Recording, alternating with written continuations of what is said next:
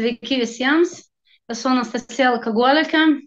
Turiu ne vieną priklausomybę. Aš esu ir uh, narkomanė alkoholikė, bet daugiau aš vis dėlto alkoholikė esu. Va. Tai ką, gal, gal, gal, gal nuo vaikystės ir pradėsiu. Tai iki dešimt metų aš vaikystę turėjau puikiai, ne, turėjau mylinčius tėvus, su tai, ką šeimoje buvo, nebuvo alkoholio, labai retai matydavau, kad tėvai nors švenčių visokių būdavo, ten videkų pažiūrėti žmonės ateidavo, būdavo žmonių, bet jie kažkaip negerdavo. Ir kada mes persikrustėme kitą būtą, ne, tai va, ten prasidėjo viški sunkumai. Tai va, tai iki tų dešimt metų labai džiaugiuosi, kad mano mama įdėjo į mane ir į sistrą ką galima ir ką negalima, ne? kad reikia mylėti žmonės, reikia neskriausti jų, reikia dalintis. Dėl to, kad paskui man tas labai padėjo, kad žmonės vis dėlto skriausdavo, ne, ir aš vis dėlto tikėjus, kad ne visi tokie blogi yra. Tai dėl to aš sakau apie tą. Va, tai ir mano mama turėjo geros pareigos, bet jie yra baltarusa, tėvas yra iš Klaipėdos ir jis nebuvo kažkoks ten šusras žmogus, jis buvo paprastas darbininkas. Tai va, tai ir kada atėjo uh, pas mumis į Lietuvą tas visas apsivertimas, ne, kada reikėjo lietuviškai šnekėti, lietuvų kalbą turėti, tai mano mama ant to biški pagėda ir gavosi taip, kad jie su laiku jį prarado darbą. Uh, pas ją nu, nusileido rankos, tai kaip aš sakau, jie išėjo į savo pasaulį. Ne? Jie, nu, jie namo, namuose būdavo, bet uh, aš jos kaip mamos aš nes nemačiau. Aš tik mačiau arba mėgantį, arba žiūrintį serialą ir bardavosi su tėvu. Tai, va, tai tėvas vienas dirbdavo, uh, mumis išlaikydavo vienas, tai jis pradėjo gerti. Tikrai pradėjo gerti ir va, per tą gerimą, čia maždaug nuo 13 metų, ne, gaudavom Vilnių, jis griežtas buvo visada, tai tik tais, kada mes buvom maži ir jis buvo griežtas čia vienas, ne, bet kada jis girtas, jis galėjo ir daužyti tave, galėjo spardyti tave kampe kur nors, ne. Pavyzdžiui, aš turėjau namo ateiti kas vieną valandą. Mano sestra savo laiku prisidirbo, o aš turėjau kas vieną valandą ateiti pasirodyti dėl to, kad, nu, neprigerčiau, kur nors neįlyščiau, ne, nors man tas su laiku tikrai nebuvo problema. Tai va, tai ir būdavo taip, kad tu gali pavėluoti namo. Tėvas neklaus, dėl ko tu pavėlavai. Ar tave išprivartavo, ar kažkas nutiko, ar, nu, neklaus. Tam nebuvo įdomu. Paprasčiausiai atidaro duris ir tu gauni gerai per galvą. Ir su viena delna jis tau duoda, su kita delna jis tave gaudo. Tai buvo ir su manim paskui augo dukteriečia, sistraje palikus su mumis, tai vat mes su dukra, oi, su dukra, su dukteriečia mano, va taip nuo mano tėvo, kaip sakant, ir gaudavom kart nuo karto ir uh,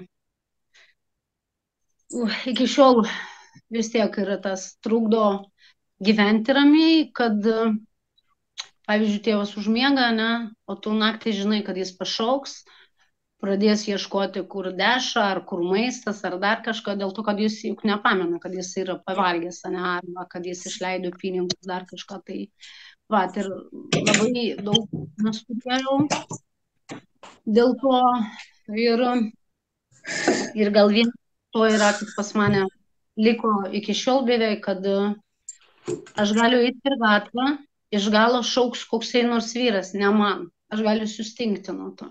Aš iškart matau savo piktą tėvą, jis pas mane yra didelis. Va, tai su psichologais pagalba, su, su darbuotojais, su ligoninėms, tai man ant daug yra geriau ir aišku su žingsniam, kad jau nėra taip jau tikrai belen koks vyras, netgi kad aš šaukia ar ant manęs, ar ant manęs, aš tikrai taip nereaguoju. Ne? Ir plus šalia manęs nėra tų vyrų, kiek buvo šalia manęs, jie nu, ne, neprileisdavo prie savęs tokių, kurie galėjo nors ant manęs kažkaip dėl kažkokio priežasties apšaukti.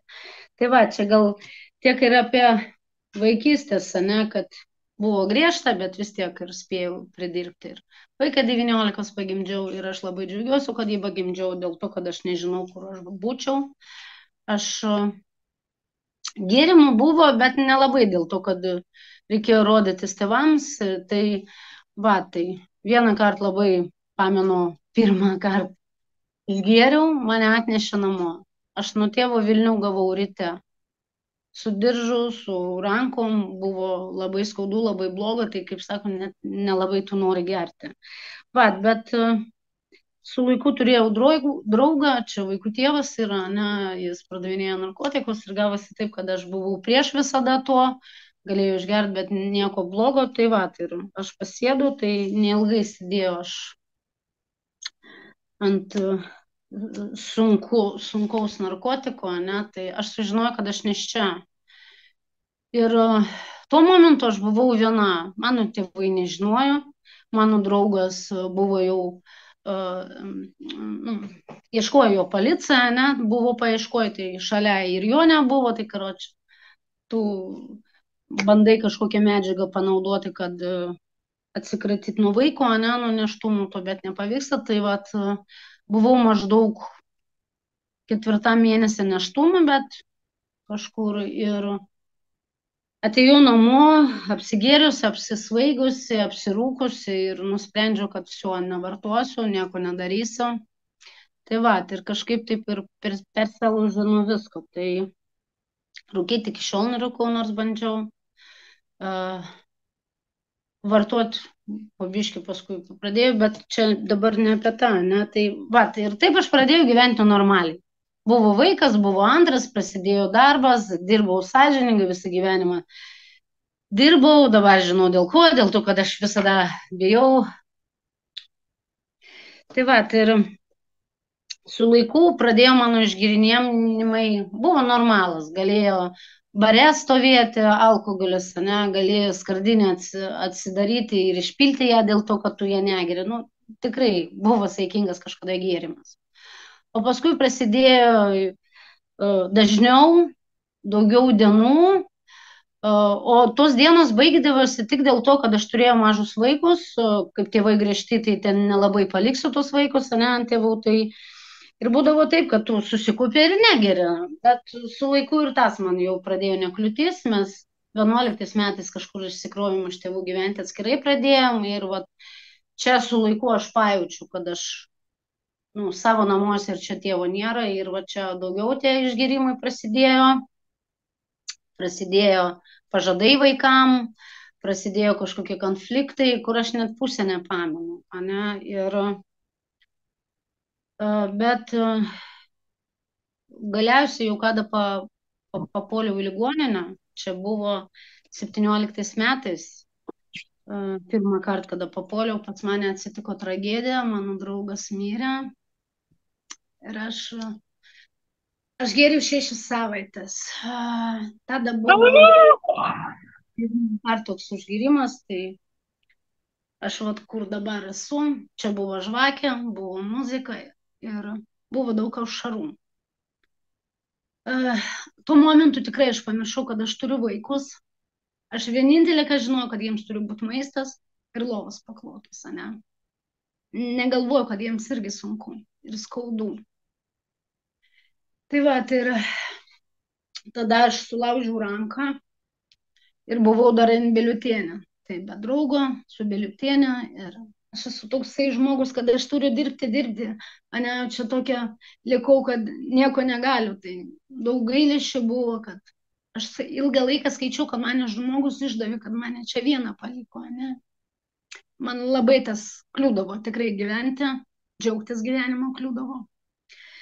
Va, tai ir man reikėjo su tą ranką e, pas gydytoją rodytis, tai tikrai gydytojai žinojo, kas nutiko šeimoje ir ji pradėjo mumis stebėti, bet aš nepamenu du kart, kada jį buvo atėjus, tik vaikai sakė, bet niekas nedarė. Ir vieną kartą aš duris atidariau, buvo girta, nelabai pamenu. Namuose bardakas, kur vaikai kambarį normaliai, bet suprantat, per tos šešios savaitės pas mane pradėjo lankyti žmonės, kurių aš biškutį žinojau, aš pradėjau gerti stiprių gėrimų, aš, man buvo vienodai, kur gerti ir kaip gerti. Vienintelė aš buvau namuose ir gėriau visur vonioju tolėte ant unitazo, mėgojau, apsivėminusiu buvau visur, kolidaris ir, ir virtuvė. Tai vaikai viską matė ir paminu labai puikiai atėjo dukra ir sunus. Sakė, jeigu tu nevalgysi, ne, mes tada nevalgysim. Tai vis tiek jau kiek laiko praėjo, bet e, sunku apie tą šnekėti, nieko nesakau. O baisiausiai apie tą, ką vaikai patyrė, ne. Mažo to, kad ta tragedija, tai ir mama dar tokia istorija. Tai va, džiaugiuosi, kad atėjo gydytoja namo ir pasakė, aš suprantu tavo skausmą, bet vaikai neturi kentėti, aš turiu kreiptis į vaikų teisės. Aš labai džiaugiuosi, tikrai ačiū jai, kad jie atėjo, kad jie išgirdo mane. Tai va, pasakė, kur gultis. Ir buvo penktadienis, aš pirmadienį atsiguliau ligoninę, radau, kur palikti vaikus, irgi tiem žmonėms dėkinga. Ir tikrai važiuodama į ligoninę, pas mane tik tais mintis buvo, jeigu ne man vaikai reikalingi, tai kam daro, ne? Bet važiuodama ten tikrai aš negalvoju, kad aš alkoholikė ar dar, aš iš vis niekada negalvoju alkoholikė, bet gal daug geriu, bet jo, bet taip vis tiek aš daug geriu dėl to, kad aš varau kaip arklis, kad vaikai viską turėtų. Taip, man galvodavo, ne? Tai ir atsigulus į ligoninę, aš galvoju, kad sunkus gyvenimas ir tiek Nebuvo man gėda kažkaip ten važiuoti, bet paprasčiausiai galvoju, nu, kokia aš alkašė. Aš namus turiu, ne, vis tiek namuoju to būtų darbą, visada dirbdavau. Vaikai aprengti, apšildinti, nu viskas tvarkuoja. Ne. Tai kada ten papuoliau, tikrai pragulėjau ten 21 dieną, reikėjo paskaitos, tai ėjau mums paskaito, ėjau mums grupė, bet čia buvo tik tais dėl to, kad reikia. Ne.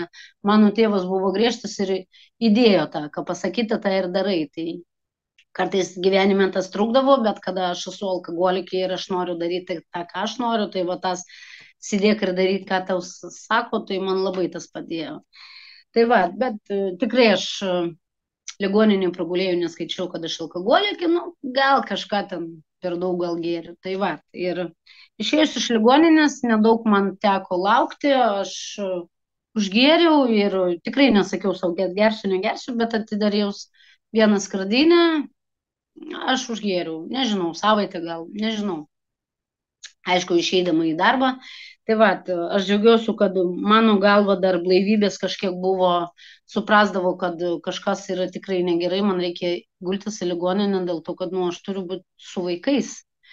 Maža dar buvo tada iš visiai 13 metų, nes mums buvo vyresnis, tai atsigulėjau antrą kartą į ligoninę ir jau, nu, kažką jau pradėjau girdėti, ką ten sako. Ir maždaug po septynių mėnesių aš vėl papuoliau į ligoninę su pasiryžimu tom, kad aš esu alkoholikė. Aš nevaldau savo gyvenimą, aš negaliu kontroliuoti savo gyvenimą. Aš ne to, kad kontroliuoti nieko negaliu. Ne save, ne kitų, ne vaikų mokinti girtą. Visus mano rytinas pachmilingas viską varo ant vaikų visas mano piktis eina ant jų, jeigu artimi, kas artimi žmonės, tai ir gaunam daugiausiai, ne fiziškai, bet morališkai tai tikrai. Tai ir, ir atsigulus trečią kartą ligoninę, aš tikrai tada nusprendžiau, kad aš stengsiu daryti viską, ką man duoda uh, ligoninė, ką A nariai man duoda, kokios žinios, ne, kaip pas mumis yra uh, patarė elgtis taip, taip, taip, programą, tikrai aš programą ir, ir globėją tikrai net negalvoju, galvoju, nu, kaip aš čia kažkokiam žmogui sakysiu, kas pas mane viduje, aš iš vis nenoriu uh, lysti į vidų, nenoriu lysti tą skausmą, kad atraukti, ne? Tai ir uh, nusprendžiu tik tais, kad man reikia būtinai lankyti grupių. Ir tas lankymas, nesakau, kad kiekvieną dieną, bet aš stengiuosi, ant kiek įmanoma. Tai keturis sikius į savaitę tai tikrai buvo, labai džiaugiuosi, kad Klaipėdos, aš iš Klaipėdos mes turim penkias grupės, ne, tai tikrai yra pasirinkimas, kurai tai. Bet uh, ėjau taip, kad uh, eini, sėdi ir klausai, nori ten mėgoti, tu turi išbūti, tu turi išsidėti tą valandą, aš savo taip sakiau, ne. Įdomu, man neįdomu, kad ten kaip kalba, nu, aš neturiu tą dėmesio kreipti, man reikia išbūti, save pripratinti, kad aš turiu toj nu, toj aplinkoje būti ir ypač aš suprantu, kad man tas padeda. Va, tai ir galvoju, taip ir aš išliksiu blaiva tiklai nesakysiu, blaivybė man buvo sunki, man buvo sunku būti blaivę, aš nemokėjau gyventi, aš pamiršau, kada per paskutinius kokius tris metus aš buvau iš vis blaiva. Dėl to, kad aš blaiva buvau uh, darbe, kada tu uh, pr pradribi visą darbę, paskui kažkokį laikotarpį tu dirbi blaivą, ateini namo, tu prisprokst. Antiek prisprokst už visą dieną prisprokst. Tai aš net nepamenu, kaip, ką reiškia būti blaivai, ką daryti su savo laisvu laiku, kada dvi per dvi dirbi. Ir, nu, kaip iš vis gyventi blaiviai. Čia ir su savo labai greužiu save dėl to, ką aš pridariau, ne, tu blaivybė pradedi prisiminti, pradedi vaikus tus matyti. Sūnus su manim normaliai elgėsi, su, su dukra buvo sunkumai, labai didelė. Tai va, tai ir tada nusprendžiau nuo trečio karto, kad einam į grupės. Man to neužteka, maždaug po septynių su pusę mėnesio. Aš vėl atsiguliau į ligoninę ir jau kada atsiguliau į ligoninę, aš gulėjau ne tik ligoninę, aš trečią kartą atsiguliau iš karto Minnesotą, kaip Dievas suvedė, atsirado vietą, aš nežadėjau Minnesotą, bet gavosi taip, tai viskas. Labai gerai išgirdau, ką man sakė ligoninė, žinot ką, kad ne tu, kad man sakė, sako, kas tau svarbiau yra. Darbas, šeima ar tavo sveikimas. Aš kažkodėl galvoju, šeima, darbas, ne Ne, su laiku priejau prie to, kad vis dėlto mano blaivybė. Turėsiu blaivybę, turėsiu ir artimus, gal jau ne šalia, bet geras ryšys su jais turėsiu, ne? Turėsiu darbą. Net jeigu aš neturėsiu savo blaivybės, aš prarasiu viską. Aš nesugebėsiu iš naujo atstatyti šeimą, nors sukurti nors santykius, kad galėčiau su vaikais bendrauti. Negalėčiau rasti darbą dėl to, kad aš būsiu jau nepaėgiai. Tai labai suveikiau tą ir man pradėjo stovėti blaivybė ir va tada, kada pasiūlė į Minnesotą, aš išėjau į Minnesotą. Labai džiaugiuosi tom. Tai va, ir apie globėją taip pat dar negalvoju, bet lankiau grupės. Uh, dariau kažkokius dalykus, kur mums siūlo ne, nedalyvauti, negerti, nelaikyti, mm, skambint kitam nariui, kur davė tau telefonus, kuris pasiruošęs tau naktį dieną e, pakelti ragelę, neišklausyti tave. Tai man irgi reikėjo prieiti prie to, kad skambint kitam žmogui. Bet e, su laiku aš supratau, kad tikrai ne vieno atkryčio aš e, nu, buvo sustabdytas mano atkritis dėl to, kad aš vis dėlto pasiskambinau ir pasakiau, kad man bloga. Man reikėjo tik išgirsti kitą galą, kad man pakelia ragelį, viskas, aš jau su, aš su alkoholikas, aš noriu į blaivybę. Ne? Tai pas mane iki šiol jau kiek metų praėjo ant šaldytuvo kabo lapelis, pačiai savo parašyta, kur yra parašyta skambink, jeigu tau bloga, nestunko skambink greitai. Ten parašyti numeriai ir vardai, kur aš. Dėl to, kad kada man bloga, aš tikrai mano blaivas mąstymas, mano visi įrankiai jie kažkur dinksta. Tai man vat, reikia ant akių turėti tą, kad jeigu kas skambinti. Tai va, tai ir su laiku papuoliau į ligoninę vėl. Ir tada nusprendžiau, kad vis dėlto aš nesusitvarkau su savo galva, aš nežinau, kaip su savo nesveiku protu elgtis, dėl to, kad aš išlaikiau nu septynius mėnesius, paskui viskas man rauna, uh, aš pradedu verkti, aš pradedu šaukti, man nepadeda kažkokia muzika, man nepadeda saldumynai, man nepadeda grupės, aš į grupės ateinu, dvi valandos būnu, paskui viso mane palieka. Tai, nu, aš jau negalėjau valdytis, tai va, ir vėl atkritau. Vienintelė, kad aš atkrintu ir jau kitą dieną skambinu į ligoninę ir prašau, kad mane paguldytų, aš labai džiaugiuosi, kad mane girdytų mane. Per tą laikotarpį, kur aš gulėjau ligoninėje, mano vaikas, dukra, buvo palikta pas mano artimų žmonių, kurie su laiku nusprendė, kad e, aš bloga mama ir jie nori ją globoti. Tai va tada prasidėjo iš vis chaosas. Tai vieną kartą prieš, prieš teisminę vis dėlto jie nelaimėjo, tai ant to ir sustojo dėl to, kad nebuvo kaip iš manęs kažką pasimti. Bet vis dėlto ant to nesustojo smūgis stiprus buvo, kada mano dukra išėjo vaikų teisės, parašė pati, kad atsisako nuo mamos, nenori su ją negyventi, nebendrauti, kad aš jai negaliu duoti to, ką nori jie, kad aš ją kaip šūnė metų pas kitos žmonės kada atsigulai ligoninę. Čia tikrai buvo smūgis. Aš džiaugiuosi, kad mano blaivybė neprasidėjo nuo to, kad vaiką savo gražinti, o kad aš norėjau gyventi blaiviai, norėjau matyti savo vaikonę. Tai su A pagalba, su grupėm, su įrankiam, ko aš žinau, aš buvau blaiva. Bet man teko atsigulti blaivai ligoniniai dėl to, kad nu, aš sakiau visiems, kad aš bijau, kad aš nenorėsiu išvysti į blaivybę ir gyventi po to. Tai va, maždaug pusę metų aš su vaiku negalėjau pašnekėti, ne telefonu nieko, man nekeldavo niekas. Tai čia daug įstaigų buvo, visokių vaikų teisės, mums, mums apgyvendinamo vienoje patalpoje, kad mes tarpusavį pradėtumėm bendrauti, bet pas, tarp mūsų prasidėjo mes pradėjom nekesti viens kitą. Ir aš paprašiau, kad mamis įsiskirtų, kad jie eitų į tuos namus, ten buvo laikinė prižiūrėtoja, aš likau viena. Tai va, ir uh, paprašiau globos, taip pat Dievas man atsiuntė žmogų, kur aš net negalvojau.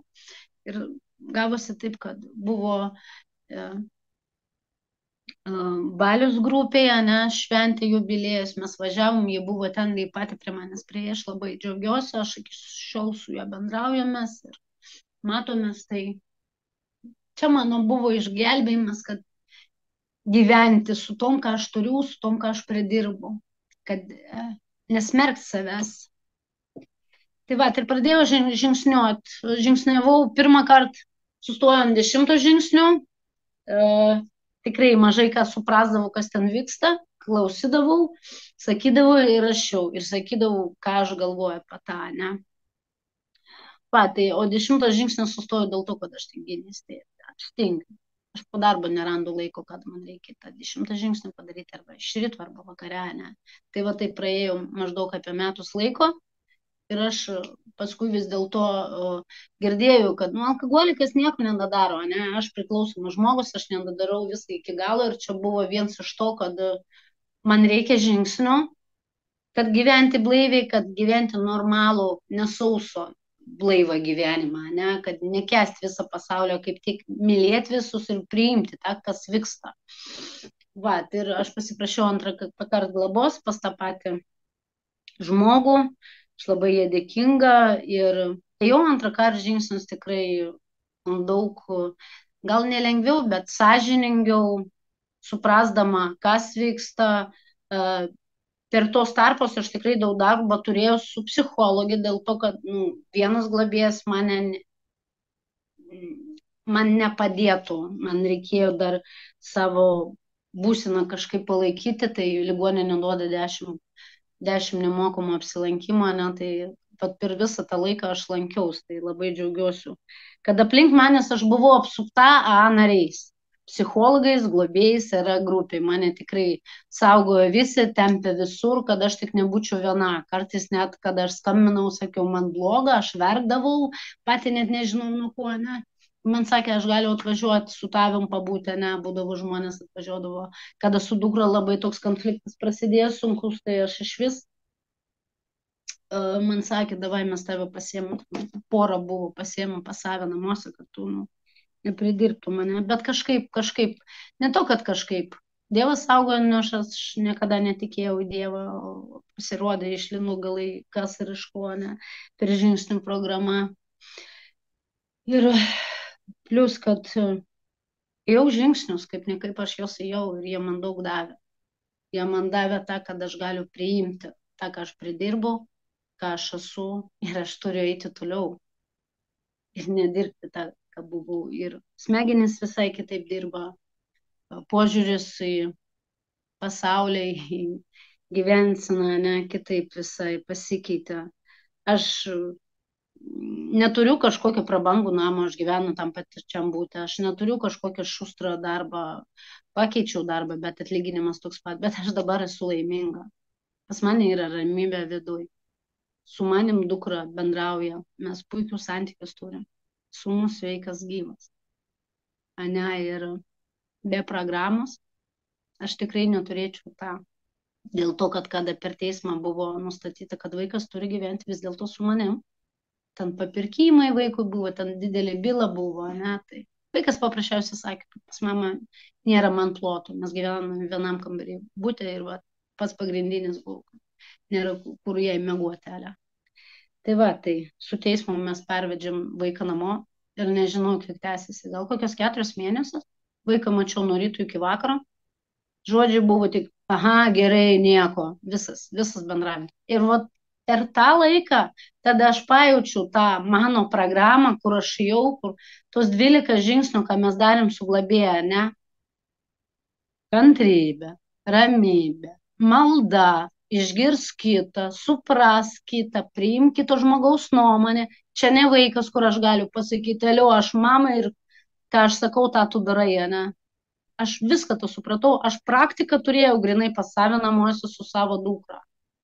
Ir man tikrai būna sunku, aš ateidavau į grupę, aš kaukdavau nuo to, kas vyksta tarp santykių. Aš tuo momentu galvoju geriau, kad nežinau, nu, gal man užplauks, aš užmušti tą vaiką norėsiu, nu, gal iš mano emocijos išlis į paviršų. Tikrai, kartais bijau savęs, ne? Tai va, ir džiaugiuosi, kad mes per tą praėjom be A narių, be žingsnių, be maldos. Aš neištverčiau, aš. Tai va, tai dabar aš turiu puikius santykius ir kada aš atsiguliu blaivai į ligoninę, atsitiko taip, kad pas mano tėvų buvo gaisras ir mane neišleido iš ligoninės, aš taip pat jiems dėkinga, kad jie mane neišleido. Jie taip pasakė, tu išgersi, pamačius, kas ten buvo, tu išgersi. Tai mano sūnus viską ten tvarkė. Mano tėvai gyvena pas mane čia, sūnus vienas su daug, daug ger, gerų žmonių gauja padėdavo ten, čia iš Klaipėdos labai daug kas padėjo ten, kad atstatyti tą būtą. Vat, bet atsitiko nelaimė, viską, ką iš sūnų žinau, ką jis pasakė, kad jis negalėjo iš... ant jų pečių per daug nukrito, ne? Tai uh, vieną gerą naktį man paskambino jo draugas, sako, kažkas yra negerai. Jūsų sūnus, kai parašė atsisveikinimą, žinote, kažkas negerai. Aš atvažiavau namo, sūnaus draugai laukia manęs, sako, mes tikrai taip neišgėrim, jam buvo 20, 21 metų, 20 metų. Mes tikrai taip neišgėrim, bet jam yra negerai, jis vis mumis prašo atleisti jam, štai ką jis pridirba ar nepridirba. Tai va, tai ir išėję žmonės tie vaikai, nu, draugai, ne, aš pasilikau su juo ir aš suprantu, kad jis negeria, bet jam blogėja. Aš klausiu, kas yra, kas. Ir aš galvoju, kad mes atsigulsim pagulėti ir viskas. Jis kažkur viduje pergyvena, vis blogiau, blogiau kalba. Ir kaip aš sakau, nu, čia Dievas mane nuvedė, ne. Aš tikrai neturėjau į vonę eiti, aš nenorėjau į tualetą, nenorėjau prostis nieko, bet aš jau į vonę ir radau ten pakėlus rankšluostį labai daug įpakavimo mano vaistų. Ten buvo visokie ir nuo skrandžių, ir angliukai. Aš labai džiaugiuosi, kad aš nevartoju jokių vaistų stiprių, išėjus iš ligoninės, ne, ir nieko neturėjau tokio, bet sunaus to užteko. Laukim greitai 16 minučių buvo karantinas. Man neleido važiuoti ir iš ryto aš sužinojau, kad sūnus komui. Jau gydytoja, kada jį pasėmė iš namų, jis jau buvo įkritęs į komą. Jis sakė, melskite. Viską. Ir visi tikisi, kad jis jaunas ir tik taip išgyvens. Su. Tai va tada man buvo labai sunku. Jeigu aš nebūčiau praėjus programos, neturėčiau tų įrankių, netgi neturėčiau tiek atkričių, tiek patirties, kiek aš turėjau, aš neišlaikyčiau savo aš nebūčiau adekvatė. Tai va, ir tris dienus praėjęs sunus komai, aš blaiva, bet čia tik su A nariais pagalba aš tada apsistojau pas vieną žmogų, dėl to, kad gaisras kaip pas tėvų buvo, tai apsistojau pas narį, gyvenau kitam kambarį. Tai ir be jų pagalbos aš nebūčiau išlikus. Tai trečią dieną, kada komos buvo, aš pasidaviau. Tai ne to, kad gerti nenori, tu nenori gyventi.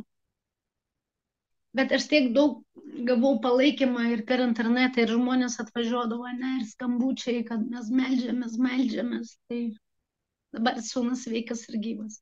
Ir netraumuotas psichiškai viskas jam gerai yra sveikas. Man vienintelė, ką pasakė, mama atleisk, davai daugiau apie tą nekalbą vat viską, ką žinau, kas įvyko, ne, tik tais, kad ant jauno berną ant daug ant, pličių, ant pečių per daug nukrito. Bet aš jums dalinaus apie tą ne dėl to, kad e, jūs mane paguoskite, ne, kad man tai bloga. Aš jums noriu pasakyti, ką žmogus gali praeiti blaivybėje, neužgerti. Vieno noro, aišku, neužtenka. Man reikėjo žingsnių, man reikėjo psichologų, man reikėjo prašyti pagalbos pas kitų, nusileisti nuo to, kad aš pati, aš pati ir niekas nematys mano ašarų. Ne. Man reikėjo sakyti žmonėms, kad man yra bloga, kad labai yra bloga, verkti. Aš esu iš prošvaistės grupės Klaipėdoje, ne, tai čia tikrai labai daug ašarų. Matė ir padėdavo mums ir, o dabar aš esu blaiva, Mano blaivybė dabar yra 3 metai, 5 mėnesiai ir 8 dienos. Tai be jūsų pagalbos, be Dievo pagalbos, be savo noro gyventi blaiviai, aš tikrai šalia nesidėčiau. Tai žingsniai man kad davė.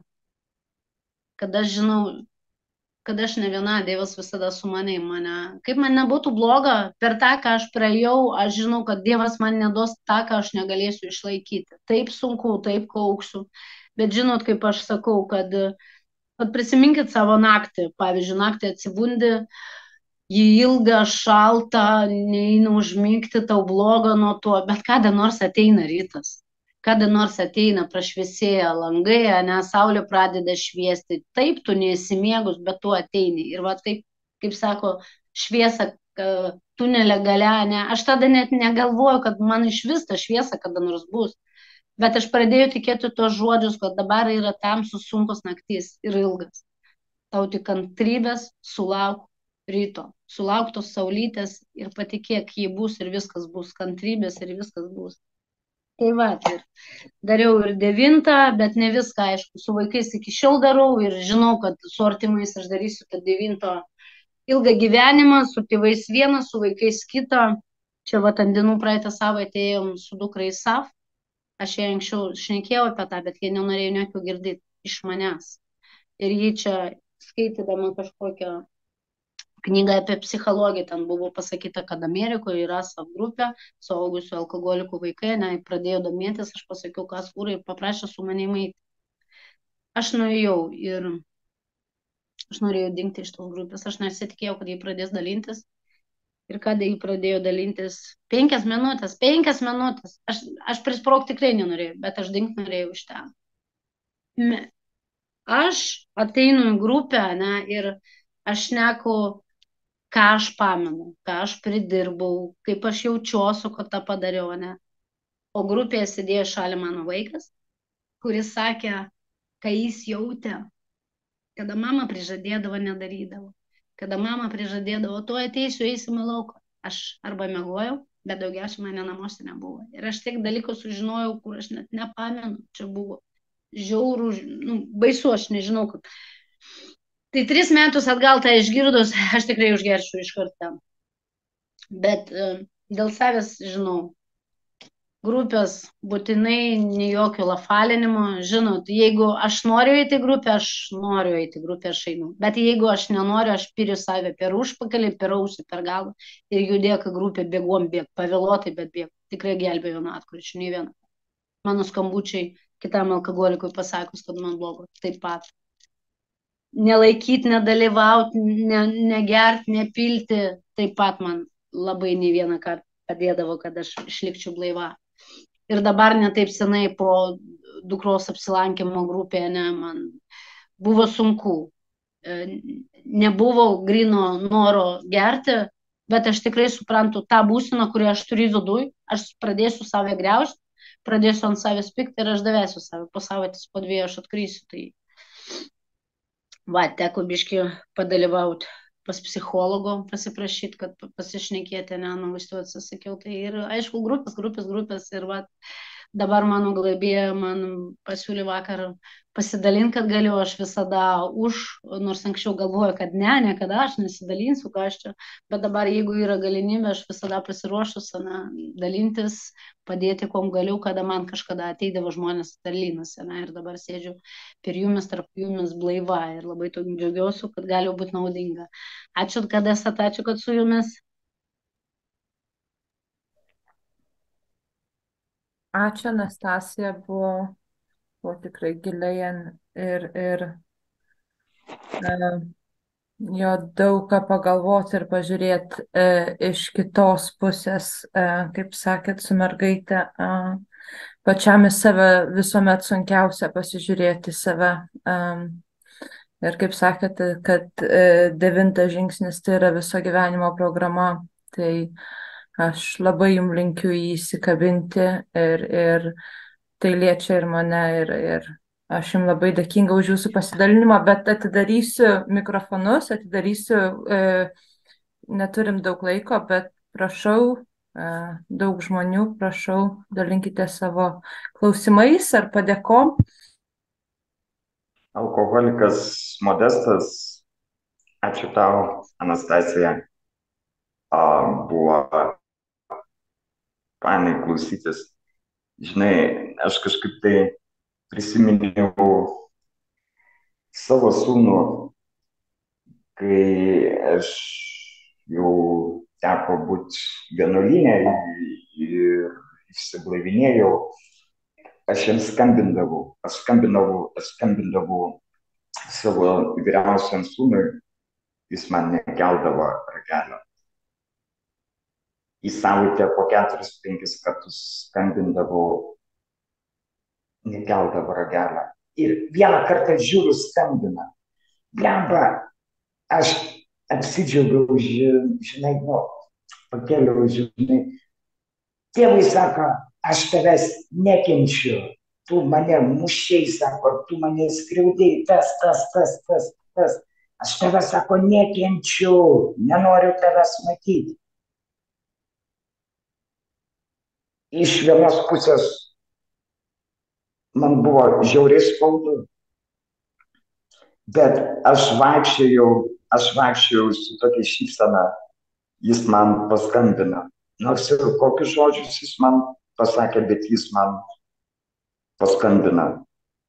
Ir po, po metų, po pusės metų blaivybei, jis man pasakė tokius žodžius, kurių aš nepamiršiu visą gyvenimą. Tėtis sako, kodėl tu, sako, nebuvo, kodėl tu, sako, nebuvai toks, kai mes gyvenom kartu. Nuostabus yra dabar santykiai su,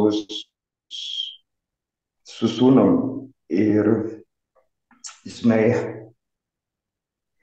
nemėgstu aš to žodžio susitapatinau, bet jo, žinai, gerai buvo. buvo. Ačiū tau. Ačiū tau.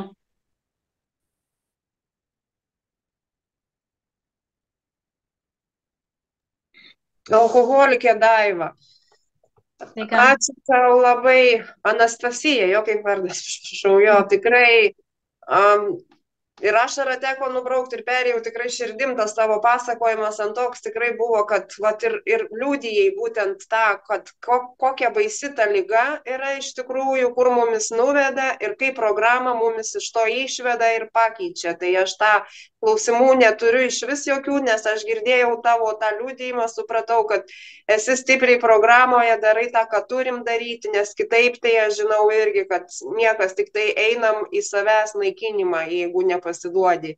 Tai va, tai tas pirmas žingsnis turbūt, kad priimti tą visą ir taip tikrai aš prabuvau šiandien tokia ir tokiu džiaugsmu, tokiu dėkingumu, tą tavo liūdėjimą išklausiau, iš tikrųjų, kokie mes turim būti dėkingi Dievui už tai, kad atvedė mumis su santykius su vaikais. Aš irgi turiu šiandien nuostabią nūkę, dukrą, su kuria viskas atsistatė santykiai, nors irgi taip pat buvo, ne taip pat aišku, bet panašiai buvau praradus viską. Tai ačiū tau tikrai iš viso širdies ir, ir už tavo tą nuostabų tokį atvirą pasidalinimą tikrai, tikrai labai vertinu, nes Tai va tas stebuklas ir yra. Tas stebuklas, turbūt, ką tu šiandien liūdėjai, tai aš mačiau konkretų stebuklą, kas pasikeičia mūsų gyvenimai.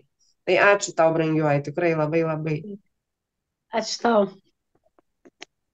Labas vakaras, alkoholikė Oksana. Aš irgi labai noriu padėkoti Anastasija už tavo pasidalinimą tokią. Aš irgi pravirkiau nu, iki širdies. Aš dabar šneku ir noriu verkti. Labai džiaugiuosi dėl tavęs. Aš iš tikrųjų tikrai, vat, man tai labai užtrygo ramybė. Be programos, aš sakau, prieš ateinant į anonimos, aš neturėjau ramybės visai pikta, nerami, pastoviai buvo, nu, čia buvo didžiausia problema. Ir pavyzdžiui, dabar, kaip aš prieš tai prisijungti, aš sakiau uh, visiems, kad buvo atostogos, mes praleidom labai penkias dienos be alkoholio, linksmėmis. Ir po to buvo toks surprizas, mes tik tai atvažiavom į namus ir atvažiavom